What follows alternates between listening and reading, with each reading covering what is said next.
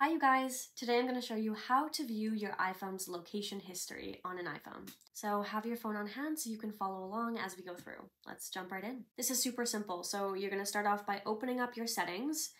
You're going to go down to privacy and security. And then you're going to click on location services. Scroll down to system services and then at the very bottom of that, you'll find significant locations. You'll click on that. It's going to either ask for your Face ID or passcode just to get in.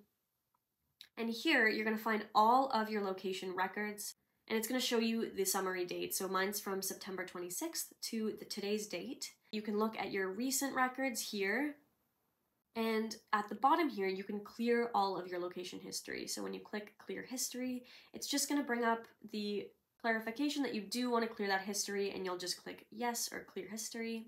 If you don't want your phone to track your location anymore, you can just turn at significant locations off and and it's going to ask if you do want to turn that off and if you do you'll click turn off or you'll cancel. Basically significant locations is just going to track the places that you go most so it can provide useful information in your maps. So for example, if you're looking for restaurants to eat at, you'll get the option to click near you. It's going to bring up all of the restaurants nearest to you or nearest to the most relevant places that you are or have been. For privacy reasons though, some people don't want that and so you can just simply turn it off. If you guys are finding this video helpful, click that like button and subscribe to our channel. This helps the channel to grow and for us to reach a larger audience. Thanks so much and let's get back to the video.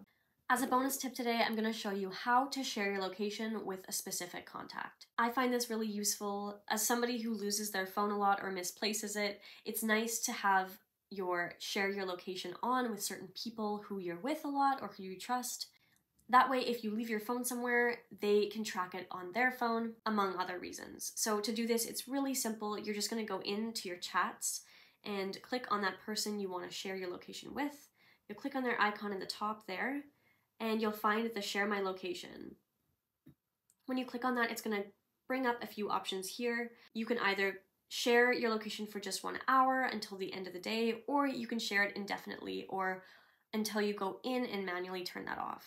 Share indefinitely. So now that person has been added to my share location, and to view that, you're simply gonna go into your settings, back into privacy and security, location services, click on share my location, and here under friends, you're gonna find the friends that you've shared your location with.